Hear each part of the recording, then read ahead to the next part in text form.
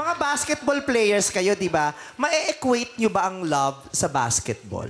Di ba may mga hugot lines na ano, na parang inaano yung love o pakikipagrelasyon sa basketball? May mga alam ba kayo mga hugot line? Ah, Ikaw? Siguro yung sa bola, parang yung taong mahal mo lang yan. Pag dinidepensa mo, kailangan mong ingatan. Magkasakitan man o magkapisikalan. Magkasakitan naman o magkapisikan. Iingatan mo yung bolang hawak mo para hindi makuha ng kalaban. O baka maagaw ng iba eh, di ba? Eh, paano kung nakaagaw ng bola mo, eh, kakampi mo rin? Naku, pato.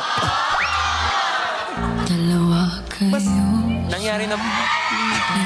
Anong mas masakit na yung bola mo napunta sa kalaban o yung bola mo inari nung kakampi mo? Mas masakit yung inayin ng kakampi mo. Ah, talaga? Hmm.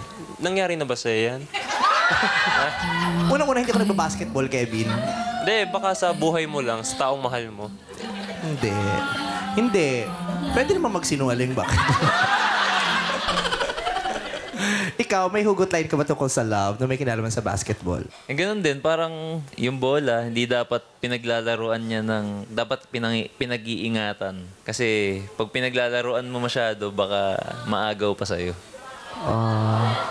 Kasi di ba may mga basketball players, pag nagdidribble, inaartihan pa nila laro yung bola. Kaya Sino na, yun? Kaya na, naaagaw. Hindi, Sinong di ba may player mga yung ganyang ganun? player na, hindi ko alam masyadong pangalan. dapat, di ba?